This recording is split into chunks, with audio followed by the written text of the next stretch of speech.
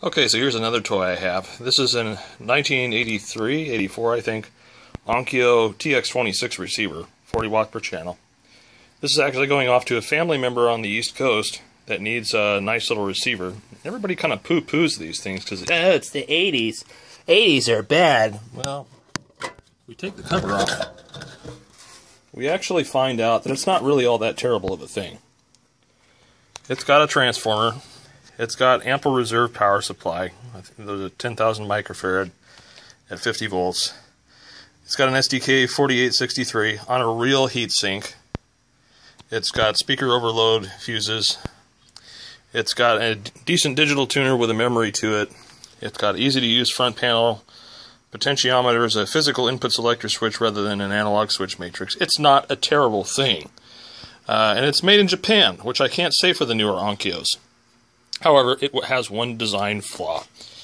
And that design flaw is this really uber cruddy low current protection relay, which we have to replace before we send it off.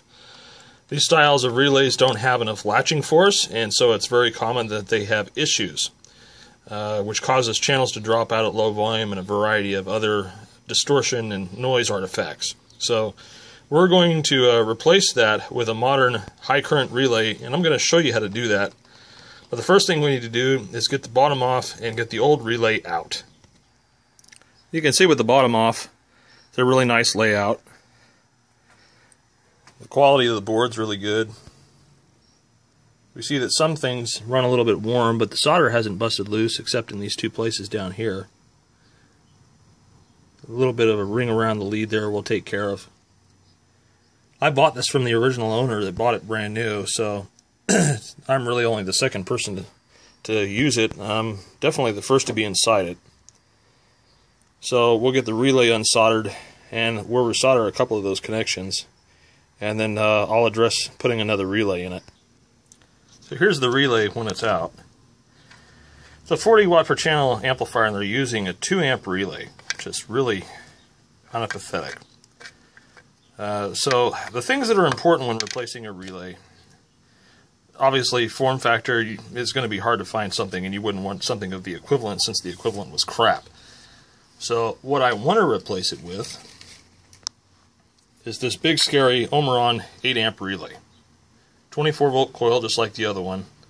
Much more power handling capability and it's hermetically sealed so we don't have to worry about uh, moisture and stuff corroding the contacts. And this amplifier isn't going to put enough power out to kill those contacts either. But there's a problem. Uh, not only physically mounting, but also wiring. now, if you have an understanding of how the machine works, wiring shouldn't be an issue. Here are the fuse holders for the speakers. So, given the fact that the traces follow to these two points, this is the output point of the relay. Now, the middle terminals might be the coil or they might be the input point. They have a little diode soldered across here, so I'm going to assume that that's a current directing uh, uh, polarity directing diode for the coil. So very likely those middle terminals are the coil, and these terminals here are the input from the amplifier. But you need to make sure that. So let's get a meter and double check that. So with our meter, we're going to measure the coil resistance. And let me see if I can prop this up so you can see it. There we go.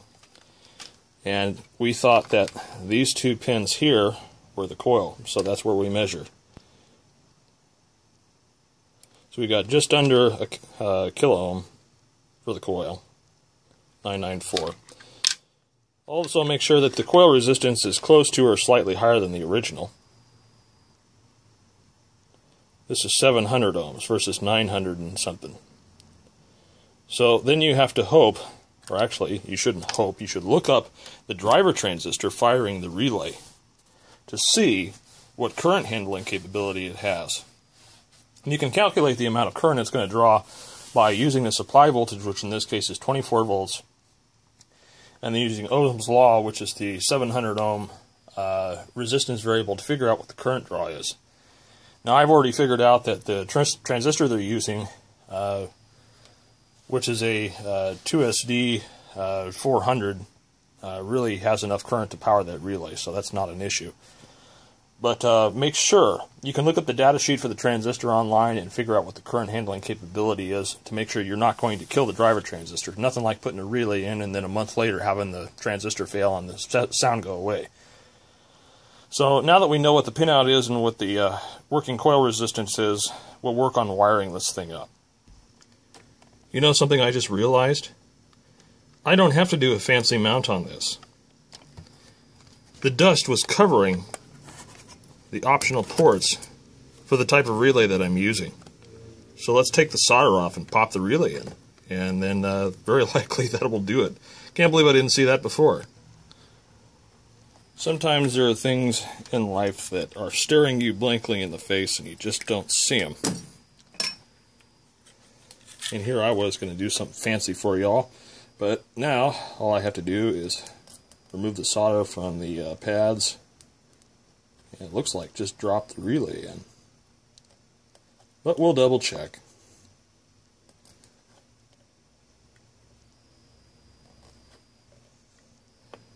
They probably put the chromier type relay in because of a cost cutting thing. This board obviously had some other options on it too that were removed.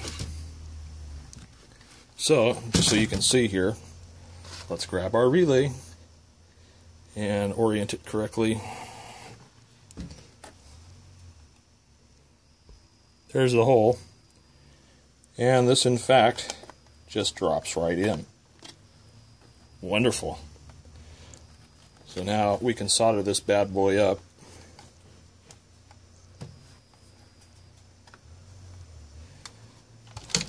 I'm going to bend the tabs over to hold it there because it wants to fall out on me.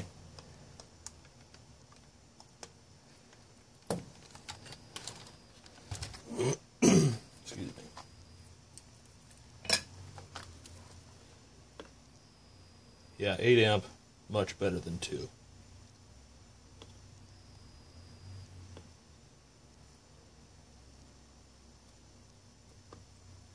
Okay, so the relay's in.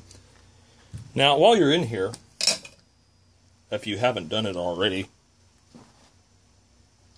it would be wise to chemically treat the switches and controls, particularly these ones back here that are attached to the rods. That's your input selector switch. There's two here, and then there's two more under this board. You can flip the machine over and get to them. So what we're going to do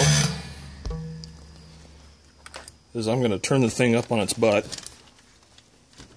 and then I've got the Deoxit D5 pump. And I just do two squirts in here, assuming I can prime the pump. There we go.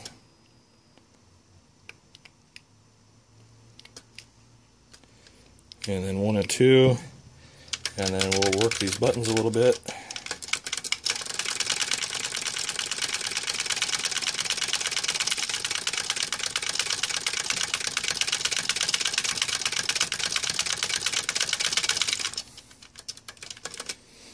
Okay.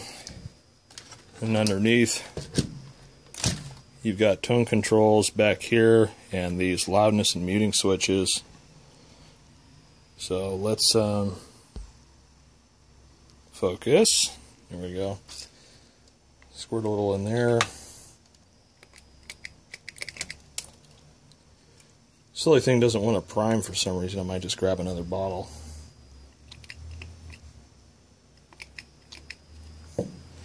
Work them back and forth a bunch.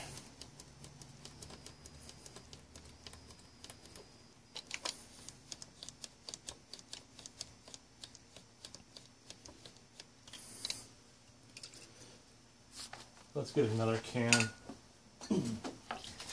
This one's in much better shape. And then there's the treble control back here.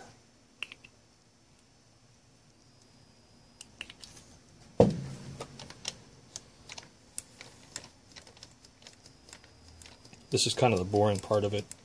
I'm actually a little bit disappointed. I was going to show you some mad skills about mounting and wiring relays, but that's for another time. It'll save me tremendous time too, because I got a lot of work to do today. work those little micro switches.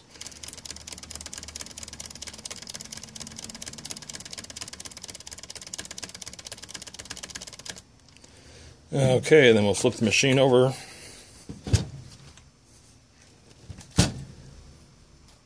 And we'll get the volume control over here.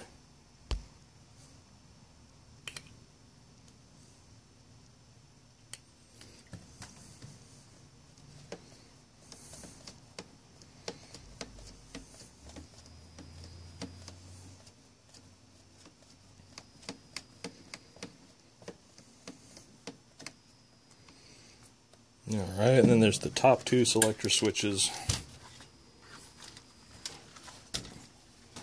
These guys here.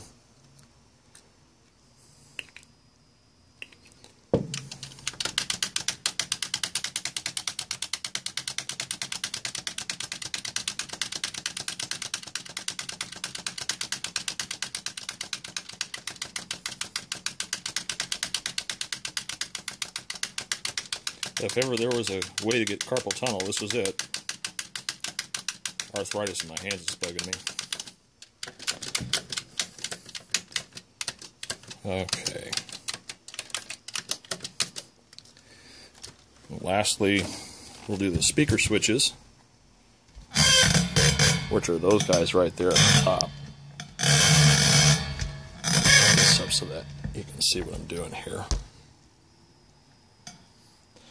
There's a little vent on the top here that you inject the cleaner into. And then we'll work them. After we're done with this,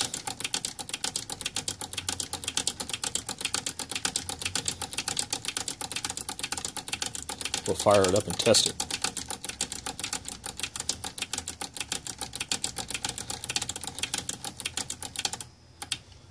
Before we do that, I want to mention one more thing about early digital tuners. Grab the phone here. Sorry about that. See that little green thing poking back there? That is a supercapacitor. It's 0.047 farads at 5 volts. That's your memory battery. That's what uh, keeps the tuner memory, the presets, and all the other stuff that's pertinent to the digital display. And that has a tendency to fail. Now I'm not going to replace that because, well, it still holds memory. But more so than that is that it's an utter nightmare to take this panel off and get to it. And although I'm giving him a favor by giving this to him, uh, I'm not going to go crazy on it. So if you have memory problems, if this thing ain't keeping presets, take a look for that. It's usually on the front panel tuner board or somewhere on the tuner board back itself, like it would be back here around where the uh, PLL circuit is. So let's get it hooked up and let's run it. Alright, so the moment of truth. Let's turn the set on. Listen for the click. Alright. So I got this hooked up to a load bank and then uh, signal generator scope. So let's go to the tape one, turn the speakers on.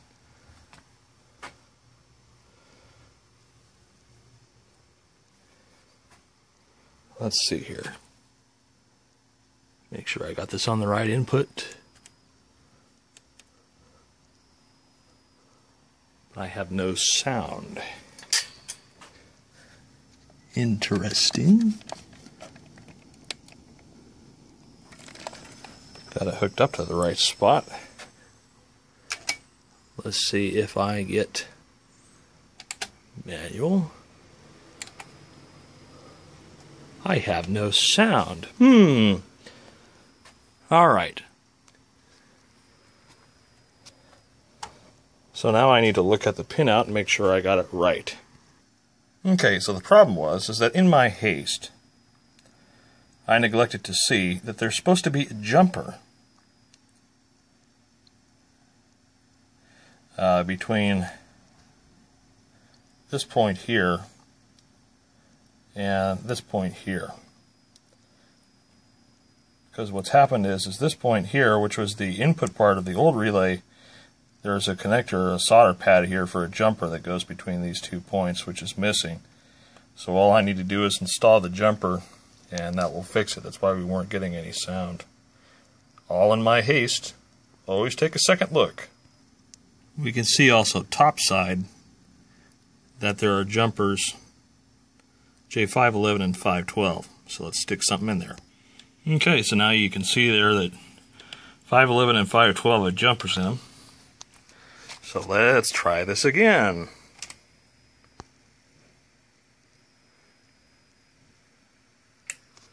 Okay, we got a click. And we have sound.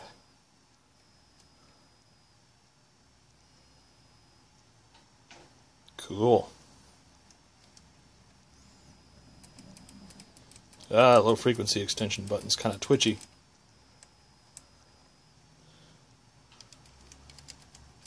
I'll have to take care of that one. Otherwise, looks good. Tap on the relay and no no jitter or nothing. So there you have it. got a nice beefy 8 amp relay in there where there used to be a 2 and made the corrections to the board necessary to make that relay run because obviously dropping it in doesn't just work and in my haste I just kind of uh, overlooked that. So uh, if you got an old Onkyo with one of these awful little relays in it now you know what you can replace it with. The uh, Omron part number, I can zoom in here so you can see it,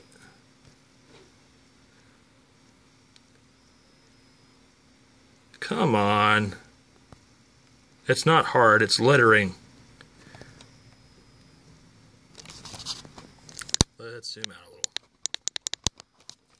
Don't like this camera. This camera does not want to focus. Okay, so it's the Omron 2 G2RG 2A4 24 volt. I forget what the Mouser prefix is, but it's uh, three digit dash G2RG dash 2A4 dash DC24. That's where we got them last time. You can also get them through DigiKey. Uh, nice little relay. Uh, it's a great replacement for a lot of machines uh, that use this form factor. So, um, anyway, I hope the uh, video has been helpful to you guys. This is a service on an Onkyo TX26. This one's getting shipped off to Chapel Hill, North Carolina. And uh, hopefully my cousin Dave will enjoy this very well, along with his nice KLH speakers I got for him. So, thanks for watching the video. More stuff to come soon.